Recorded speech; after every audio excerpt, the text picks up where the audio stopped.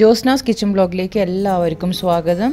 ഇന്ന് ഞാൻ ഉണ്ടാക്കിയിരിക്കുന്നത് വളരെ എളുപ്പത്തിൽ നമുക്ക് ദോശമാവ് വെച്ചിട്ട് ഉണ്ടാക്കാൻ പറ്റുന്ന ഒരു ജിലേബിയാണ്. അപ്പോൾ വളരെ കുറച്ച് ഇൻഗ്രീഡിയൻസ് മാത്രമേ ഇതിനാവശ്യമുള്ളൂ. അപ്പോൾ എല്ലാവരും വീഡിയോ മുഴുവനായിട്ട് കാണണം. ഇഷ്ടപ്പെട്ടെങ്കിൽ നിങ്ങളുടെ ഫാമിലിക്കും ഫ്രണ്ട്സിനും ഷെയർ ചെയ്ത് കൊടുക്കാനും മറക്കരുത്. വീഡിയോയിലേക്ക് പോകുന്നതിന് മുൻപ് എന്റെ ചാനൽ സബ്സ്ക്രൈബ് ചെയ്തിട്ടില്ലെങ്കിൽ മറക്കാതെ സബ്സ്ക്രൈബ് ചെയ്ത് ബെല്ലൈക്കൺ പ്രസ് ചെയ്ത് ഓൾ എന്ന് കൂടി ക്ലിക്ക് ചെയ്യാൻ മറക്കരുത്. എന്നാൽ മാത്രമേ എന്റെ വീഡിയോയുടെ നോട്ടിഫിക്കേഷൻ നിങ്ങൾക്ക് കിട്ടുള്ളൂ. അപ്പോൾ നമുക്ക് വളരെ ടേസ്റ്റി ആയിട്ടുള്ള ജിലേബി എങ്ങനെയാണ് ഉണ്ടാക്കുന്നതെന്ന് കാണാം.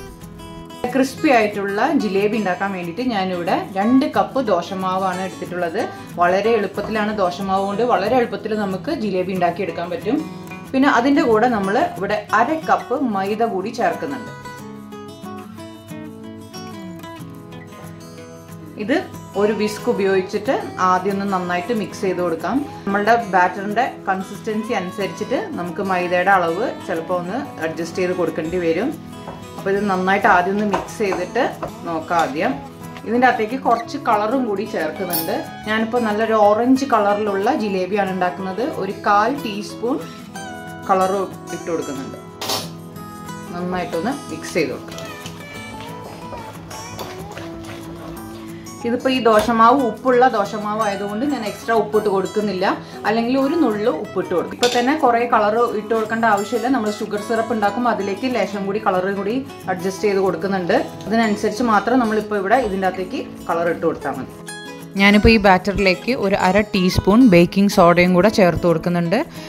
ഇതും കൂടെ ഇട്ടിട്ട് നന്നായിട്ട് മിക്സ് ചെയ്തിട്ട് നമുക്ക് മാറ്റി വെക്കാം ജിലേബിയുടെ മാവിന്റെ കൺസിസ്റ്റൻസി കറക്റ്റ് ആണ്. ഇത് മതി. ഇനി കൂടുതലായിട്ട് മൈദയുടെ ആവശ്യമില്ല. ഇത് നമുക്ക് സൈഡിലേക്ക് മാറ്റി വെക്കാം. ഇനി നമുക്ക് ഷുഗർ സിറപ്പ് ഉണ്ടാക്കാം. അതിന് വേണ്ടിയിട്ട് ഞാനിവിടെ രണ്ട് കപ്പ് പഞ്ചസാര ഇട്ട് കൊടുത്തിട്ടുണ്ട്. അതിലേക്ക് ഒരു കപ്പ് വെള്ളം. രണ്ട് കപ്പ് പഞ്ചസാരയ്ക്ക് ഒരു കപ്പ് വെള്ളം. ഇന്ന് നന്നായിട്ട് മിക്സ് ചെയ്ത് കൊടുക്കാം. അപ്പോൾ ഞാൻ കളറിന്റെ സ്പൂൺ ആയതുകൊണ്ടാണ് ഇപ്പൊ കളർ വന്നത്. ഇതിലേക്ക് നമ്മുടെ ജിലേബി കളർ ഒരു കാൽ ടീസ്പൂൺ കൂടെ ഇട്ട് കൊടുക്കുന്നുണ്ട്. പഞ്ചസാര ഇട്ട് കൊടുത്ത് സ്റ്റൗ ഉടനെ ഓൺ ആക്കിയിട്ട് പിന്നെ അതിന് ശേഷം വെള്ളം ഒഴിച്ചു കൊടുക്കാൻ നിൽക്കരുത്. അത് ചെയ്യുന്നത് ശരിയായ രീതിയല്ല.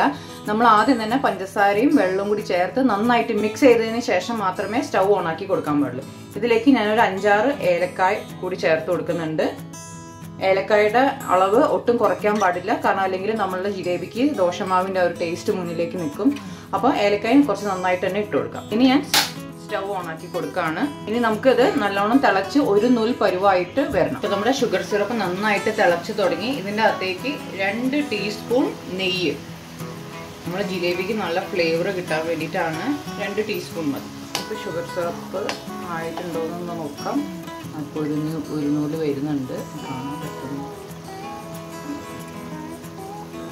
ഷുഗർ സിറപ്പിന്റെ അകത്തേക്ക് ഒരു ടേബിൾ സ്പൂൺ ചെറുനാരങ്ങ നീരും കൂടെ ഒഴിച്ചു കൊടുക്കുന്നുണ്ട്. നമ്മൾ ഷുഗർ ക്രിസ്റ്റലൈസ് ആയി പോവാതിരിക്കാൻ വേണ്ടിയിട്ടാണ്. എന്നിട്ട് ഇത് നല്ലോണം ഒന്ന് യോജിപ്പിച്ചതിന് ശേഷം നമുക്ക് മാറ്റി വെക്കാം. ഇപ്പോൾ ഒരു നൂൽ പരുവായിട്ട് കറക്റ്റായിട്ട് ഇരിക്കുകയാണ്. ഇനി ചെറുനാരങ്ങ നീരും കൂടെ ലാസ്റ്റ് ഒഴിച്ചു കൊടുത്തു. ഇനി സിറപ്പ് റെഡി ആയിട്ടുണ്ട്. അപ്പോൾ ഓക്കെ നമ്മുടെ ഷുഗർ സിറപ്പ് റെഡിയായി ഇനി നമുക്ക് ഇപ്പുറത്തെ അടുപ്പിലേക്ക് മാറ്റി വെക്കാം. ഇനി നമുക്ക് ഓയിൽ ചൂടാക്കാൻ വെക്കാം. ഞാനിപ്പോൾ ഇവിടെ സൺഫ്ലവർ ഓയിലാണ് എടുത്തിട്ടുള്ളത്.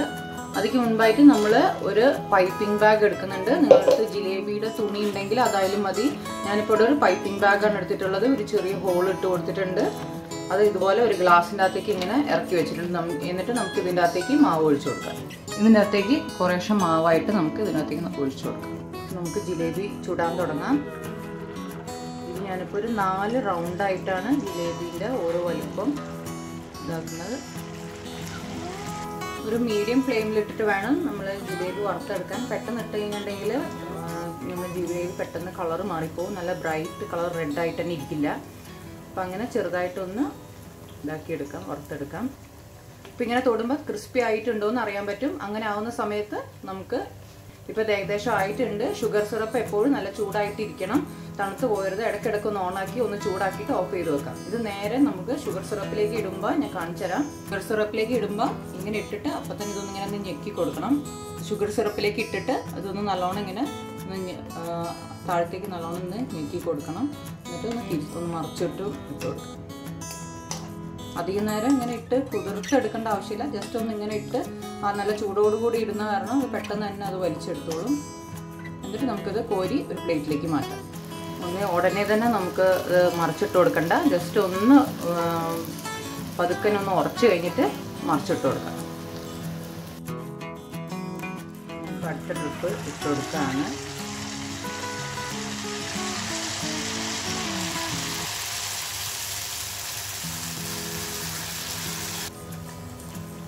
ഇതിപ്പോൾ മൂന്നും ആയിട്ടുണ്ട്. ഇത് നമുക്ക് കോരിയെടുക്കാം.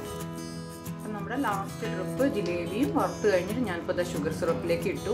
ഷുഗർ ഷുഗർ സിറപ്പിലേക്ക് ഇട്ടിട്ട് ഇങ്ങനെ തിരിച്ചു മറിച്ച് എല്ലാ രണ്ട് വശത്തും നല്ലോണം ഷുഗർ നല്ലോണം അതിന്റെ അകത്തേക്ക് വലിഞ്ഞ് വരണം. അതിന്റെ അകത്തേക്ക് നല്ലോണം ഡിപ്പ് ചെയ്ത് കൊടുക്കുക. നല്ലോണം ഇങ്ങനെ ഡിപ്പ് ചെയ്ത് കൊടുക്കുക. അത് കഴിഞ്ഞിട്ട് ഇപ്പം തന്നെ കുറേ നേരം ഇങ്ങനെ ഇട്ട് വെക്കേണ്ട ആവശ്യമില്ല. അങ്ങനെ ആകുമ്പോൾ ഒരുപാട് അതിന്റെ അകത്ത് കിടന്ന് ഇങ്ങനെ സോഗിയായി പോവും. നമ്മളത് ഇട്ട് ജസ്റ്റ് ഒന്ന് തിരിച്ചു മറിച്ചിട്ടു. അതപ്പം അപ്പം തന്നെ വേഗം അതിനകത്ത് ഷുഗർ സിറപ്പ് നല്ലോണം ഡ്രെയിൻ ചെയ്തിട്ട് നമ്മൾ പ്ലേറ്റിലേക്ക് മാറ്റും. അപ്പോൾ ഇതുപോലെ ദോശമാവ് ബാക്കി വരുമ്പോൾ എല്ലാവരും ഇതുപോലെ ഉണ്ടാക്കി നോക്കണം. അപ്പോൾ നിങ്ങൾക്ക് എന്റെ വീഡിയോ ഒക്കെ ഇഷ്ടപ്പെടുന്നുണ്ടെന്ന് വിചാരിക്കുന്നു. വീഡിയോ ഇഷ്ടപ്പെടുന്നുണ്ടെങ്കിൽ ലൈക്ക് ചെയ്യാനും ഷെയർ ചെയ്യാനും കമന്റ് ചെയ്യാനും മറക്കരുത്. അപ്പോൾ ഇതുപോലെ നല്ല നല്ല വിഭവങ്ങളുമായിട്ട് നമുക്ക് അടുത്ത വീഡിയോയിൽ കാണാം. Thanks for watching